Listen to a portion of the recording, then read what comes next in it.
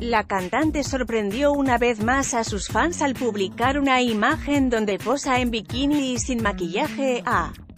través de su cuenta de Instagram, la artista compartió una foto donde se le observa sentada con las piernas cruzadas sobre un mandala del amor. La instantánea llamó la atención de sus fans pues en ella la intérprete luce sin una gota de maquillaje y cabe recordar que durante los últimos meses, la Guzmán ha sido criticada por el cambio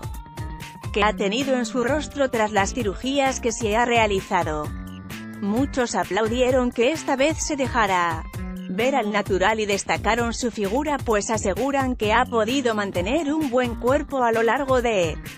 los años.